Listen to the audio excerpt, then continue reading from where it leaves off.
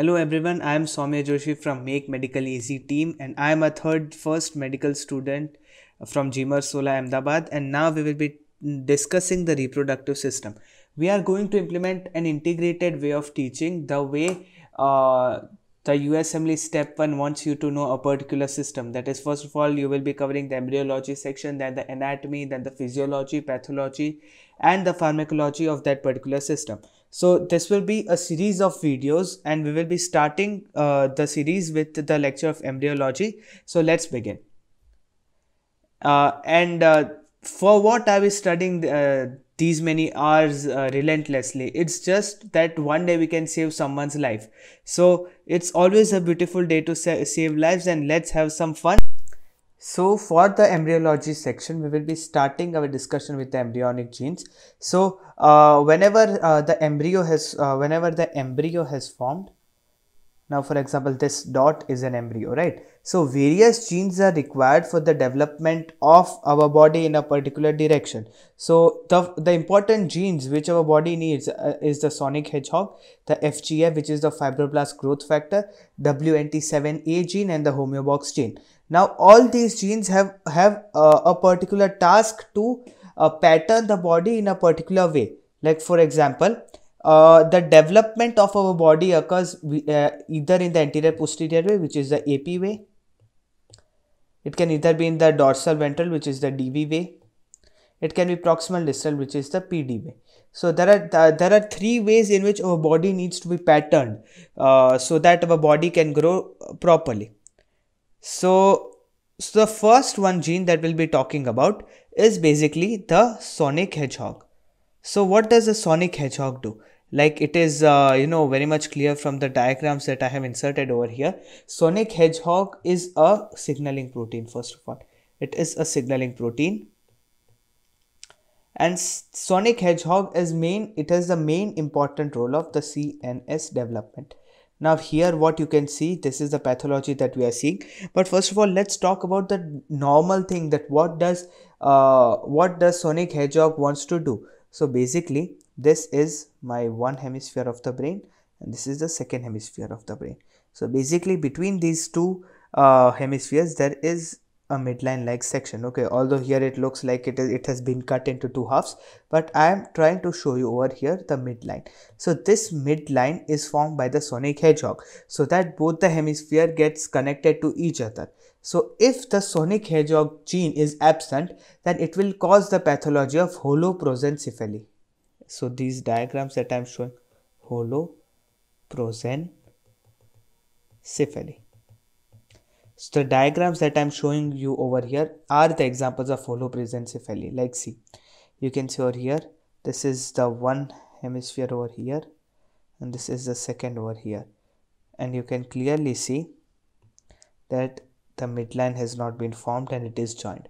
So this is the one version of it. Uh, and the second one, which is way more riskier than that, is the cyclopia. You can see the eyes are fused over here.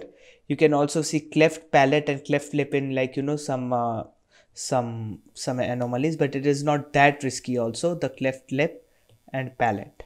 So this is the first uh, uh, you know uh, the USMLE step 1 wants you to remember the pathology associated with the sonic hedgehog uh, gene. So you need to remember this this is very much important and uh, this is the thing that you need to remember of sonic hedgehog now let's go about the next one which is known as there is something known as apical ectodermal ridge. Now what does apical ectodermal ridge do? You know it is very much critical for the proximal to distal development. Now what is the proximal to distal? See this is the proximal and this is the distal. So anything that develops like for example uh, this center point is the embryo. This center point is the embryo. So now what will the uh, apical ectodermal ridge do? It will lay out a path for the growth of proximal to the distal side. And if this, uh, you know, uh, apical ectodermal ridge is not laid upon, then the limb will stop growing. Means, for example, up to this point, the apical ectodermal ridge AER was laid. Now, if it goes away from this side, then the limb will only have this much length. It will not grow further, right? So this is what the apical ectodermal ridge means. Now what will the ecto, uh, apical ectodermal ridge do? It has a key transcription factor which is the FGF which is a fibroblast growth factor. Now you know what will happen. Uh, many times it also happens like for example this is the AER and after coming to a certain point over here the AER is lost and the FGF takes over. So in this case normal growth will continue no anomaly will occur. So FGF and AER both have the same role which is the proximal to distal development. Now let's talk about the next one which is a WNT7A. So the, what does WNT7A do? It it it depends on multiple genes. It has you know uh, multiple genes are there, but the key role for uh, the dorsal ventral development is the WNT7A gene. So, you know, it is key for the dorsal development. Main, mainly the dorsal development. So, what does it do? W once WNT7A gets uh, transcribed, it will go and activate LMX1. Just remember, no, there is no need to remember the full form of the, these. So, it will activate LMX1 gene. Now, what will uh, happen that uh, once it gets dorsalized, there is development of the dorsal side. For example, this is the dorsal side right so you also need to develop that part from the ventral side. This i'm just showing you a schematic. So for the dorsal side you already have wnt7a for the ventral side you need one another uh, transcription factor which is engrailed 1 so these both have you know like uh, an opposite way. So uh, if you have some doubt like which is the dorsal and which is the ventral so in short, I will tell you that the dorsal side means the extensors and the ventral side means the flexors, right? So this is very much that you should uh, remember. And for example, if the WNT7A gene goes missing, then both sides there will be ventral development that is uh, engrailed will be expressed and if uh, the engrailed uh, one is not uh, expressed then both side the dorsal development will occur this is the point that you should know very well and the next one that you need to okay so the last embryonic gene that we are going to see is the Hox gene or the homeobox gene. So, you know, it is the main regulator for the AP axis development. We, we discussed previously, right? The anterior posterior uh, axis development. And, uh, you know, uh, if there is any mutation in this, then uh, the body segments will have uh, gross anomalies and many a times what happens that uh, for example uh, these two uh, parts have to be you know fused to be one. And if there is anomaly in the Hox gene these two parts can lead to an additional part and it can lead to syndactyly like thing. I'll show the photo of syndactyl um, in the next uh, image.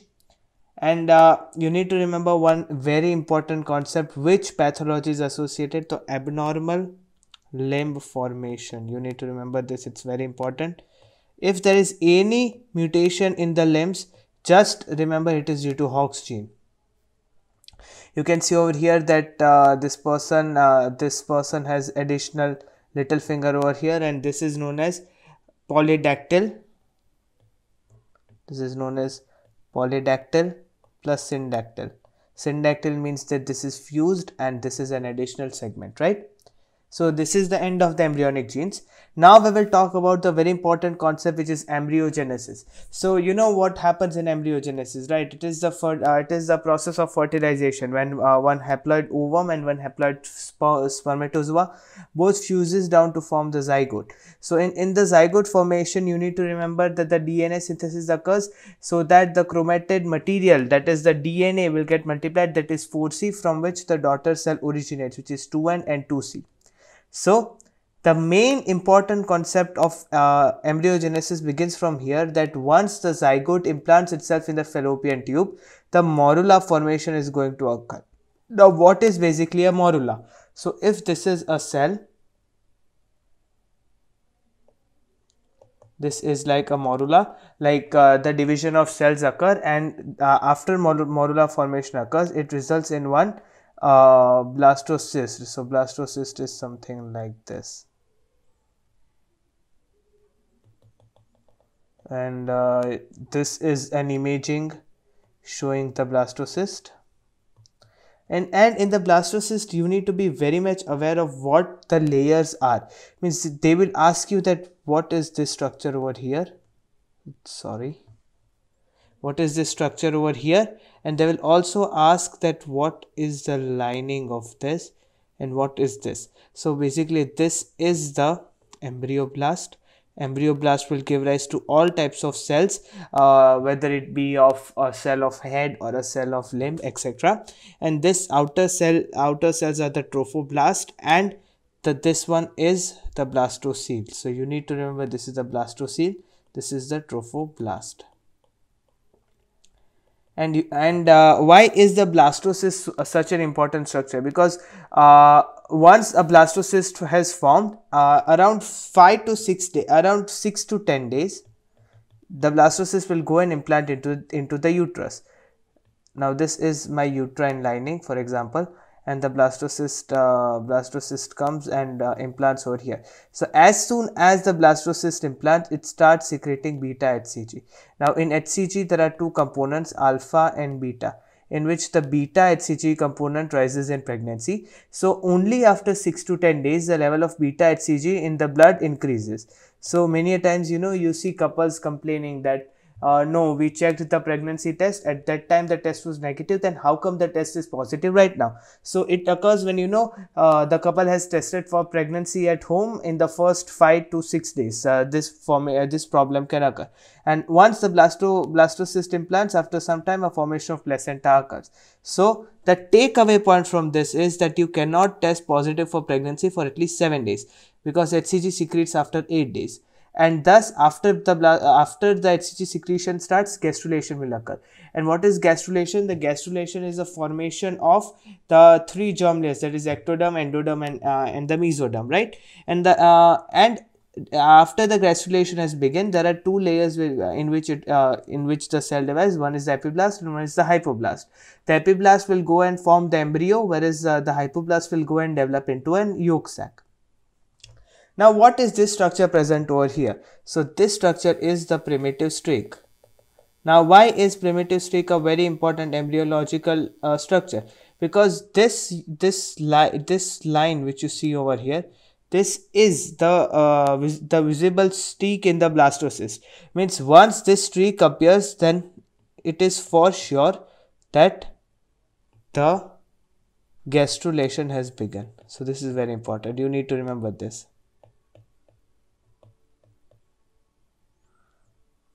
So remember. So now let's talk about genital embryology. So uh, during fertilization, uh, the determination of chromosomal sex has already been occurred that whether the uh, person is XY or XX. So right, right. So XY will be a male and XX will be a female, right? So that is just the you know chromosomal determination. But how does our genital system develop after the determination of chromosomes? So uh, during the later development, uh, our genital system develops, and the uh, the genital system uh, development occurs in three ways. First one is the development of gonads. Second one is internal genitalia development, and third one is external genitalia. So all the all these three structures derive from different structures, and that their way of origin and development is quite different from each other. So whenever we are talking about the genital system embryology, uh, each of these should be considered as different from each other. So let's start by the development of gonad. So how does the uh, gonadal development occurs? So what happens that uh, uh, you know uh, after gastrulation has occurred, one structure originates, which is known as the epiblast. So from epiblast the germ cells start uh, uh, uh, deriving and that germ cells comes and invades the gonadal ridges. Now invasion of the gonadal ridges is very important for the development of the gonads. Now if if there is failure to reach over here then what will happen? That gonads will be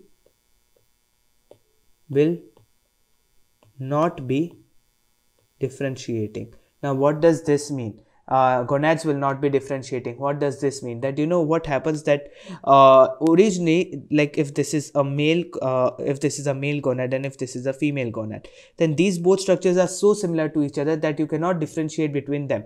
One needs to uh, one of these needs to invade the gonadal ridges so that it can you know uh, develop further. So this is uh, the development of gonads so now let's talk about the uh, uh, how does the internal genitalia develop? So first of all you need to know that which structures are considered as the internal genitalia. So epididymis vas deferens and seminal vesicles are the internal structures of male genital system. Fallopian tubes uterus and upper vagina these are parts of the internal genitalia. So how does this development occur for the internal genitalia? So for, for that you need to be aware of one thing which is the SRY gene. So what happens is that in males there is presence of SRY gene. So uh, this is it, is, it can uh, it is especially for Y chromosome, right? So what happens is that if the if SRY gene is present over here, it will then code for testis determine, de determining factor. So due to presence of SRY gene, this will lead to formation of formation of Sertoli cells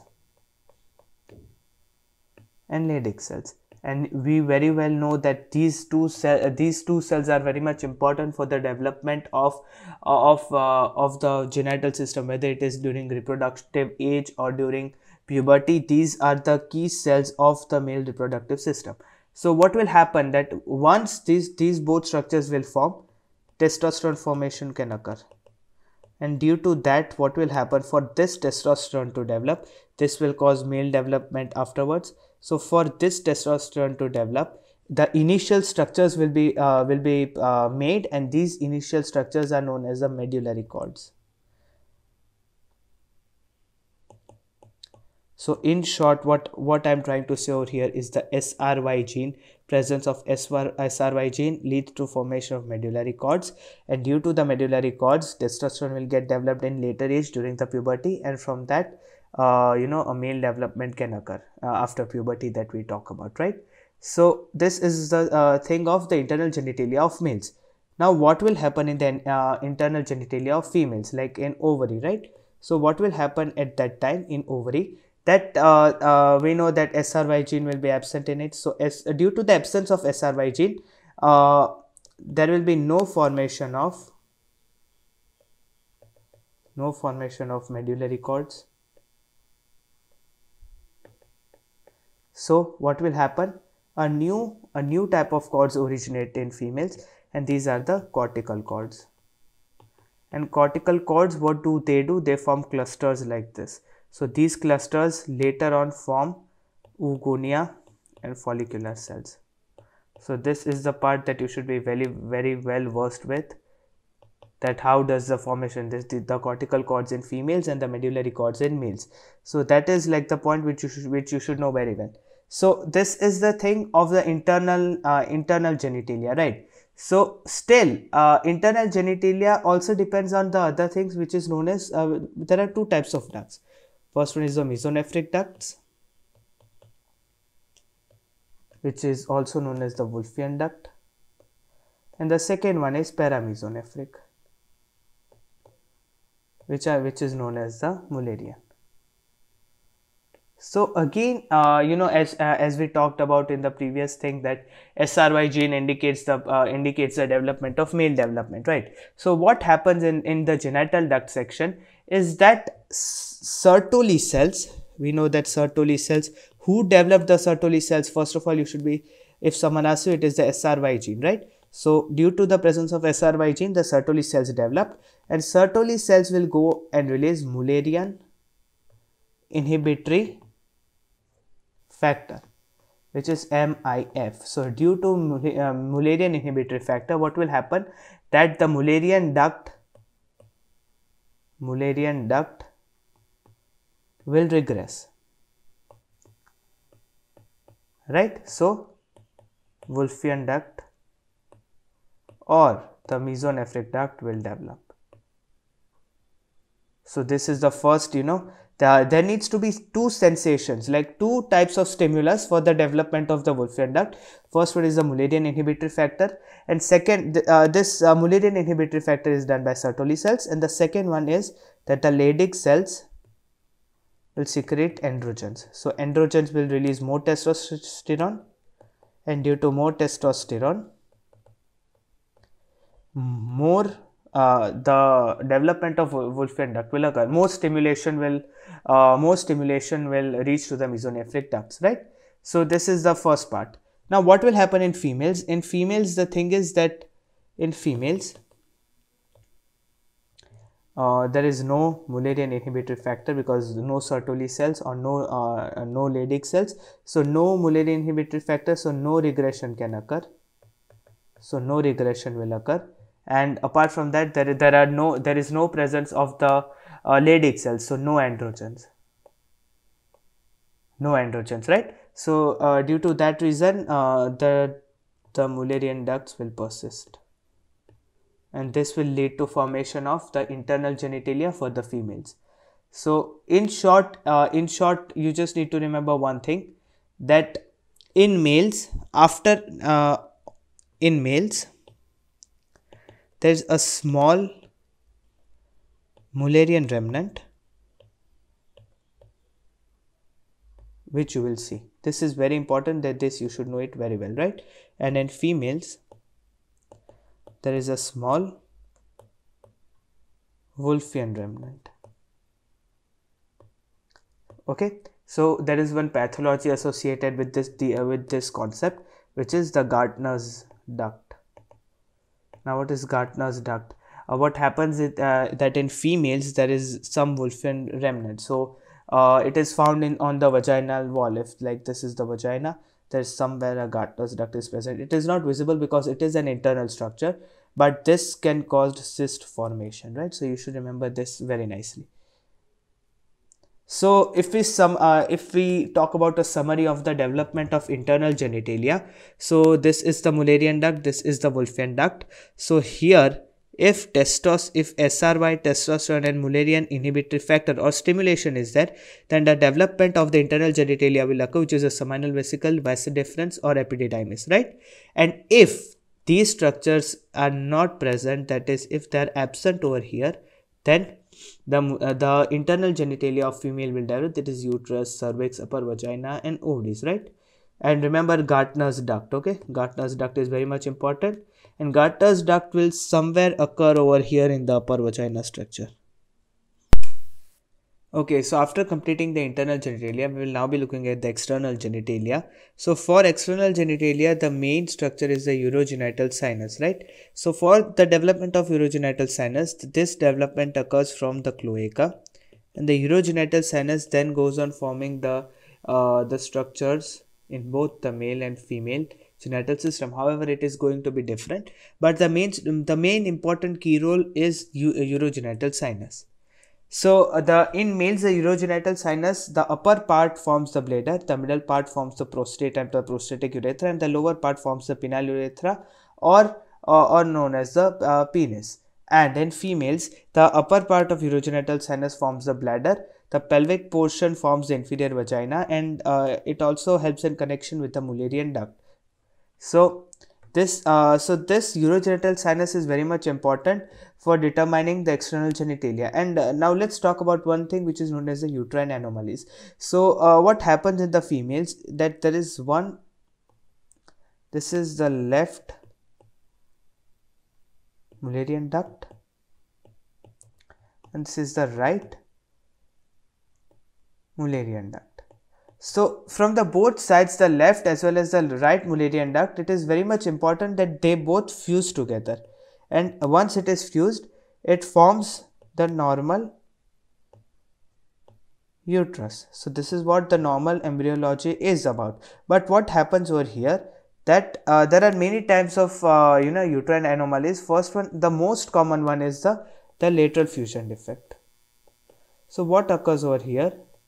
That in normal in normal what happens is that, that this if this is the cavity we are talking about then the whole the both uh, the both sides of the Mullerian duct will, will combine and it will form uh, something like this uh, this structure. But what will happen in this? That uh, like and this is known as aseptate. The normal uterus that we see is the aseptate uterus. The septa will only form if the lateral uh, ends do not fuse. So this is the first point now uh, now there is one second uh, type of anomaly which is also very common and that is known as the lateral side. So what happens in that? That if this is my cavity and what happens is some some structure like this occurs. So here the fusion has uh, not occurred and this is because resorption of the Mullerian part has not occurred over here. Resorption of the Mullerian fusion. So septate septation is present. And to re remove this septation you need to perform a septoplasty. So this is a very important thing you need to remember with the uterine anomalies. And yes uh, there is one type of uterine anomaly that uh, that we forgot to discuss and this is also of very great importance. You should remember the name the name is very much important. It is the bi it is the uterine didelphys now what happens in uterine didelphys that uh, from one side one uterus will originate and from the second one uh, the second uterus will. So this is like two uterine structures. This will be the one Mullerian duct over here which gives rise to one uterus. And the second one will give to second. So there are there are presence of two uterus over here so now the main important part is the structures the structures of the development of the external genitalia so when we talk about the structures you should be very much aware about the first one is the genital tubercle, second is the urogenital sinus, urogenital folds and labioscrotal swellings. Now why are these structures important? Because uh, when we talk about the development of external genitalia, we will be talking about the development like we talked in the in this part that uh, the development of bladder is occurring, prostate is occurring, prostatic urethra is occurring or the penile urethra is occurring, right? So, whenever we are talking about the development of particular parts, we should know that which structure is giving origin to that particular part. So now let's discuss what is the basic orientation of all these embryological derivatives which will give rise to various parts. So basically see you need to uh, you know uh, make two points of references. First one is going to be the genital tubercle over here. Second one is going to be the anus. So just beneath the genital tubercle you are going to witness the urogenital sinus over here. And around the urogenital sinus you will notice there are two folds which are known as the urogenital folds. Now urogenital sinuses and folds both originate from the cloaca. And around them is, you can find the last part which is the labioscrotal swelling now out of all these parts you need to remember one thing that in males the genital tubercle will elongate to form penis whereas in females it will elongate to form the clitoris and we know that both are homologous structures. In males, the the uh, the urogenital sinus is going to uh, going to close, uh, whereas in the females it will remain open for vagina. So these are the important points that you should know. Okay, so once we have discussed the important points, now we will see that first of all we will say in males that which structure is giving rise to which part of the uh, male reproductive system. So the genital tubercle will elongate and it will give rise to the penis right now always remember one thing that all the uh, urogenital sinus the urogenital sinus whether it is male or female will always give rise to glands and in this context as it is we are discussing about male it will give rise to two things. First one is the prostate gland. And second one is the glands of Cowper so uh, both the secretions are you know uh, seen in the ejaculation. And labioscrotal swelling will give rise to the scrotum. And the urogenital folds it will also form the penile urethra. So these are the derivatives that we talk about male okay so now we will be discussing about females. So in this you need to remember the important thing that in genital tubercle uh, it will form the clitoris. Now urogenital sinus as I talked about will give rise to glands. Over here it will give rise to Bartholin gland. Many times the Bartholin cyst occurs in uh, females. And uh, it also gives rise to the para urethral glands. Okay? That's that's not that important but the next two points are very important. The labioscrotal swellings will rise give rise to labia majora. And the urogenital folds they will not fuse. And as they will not fuse they will give rise to the labia minora. So that's the end of genital embryology. So that's all that's all for today's class. Uh, thank you so much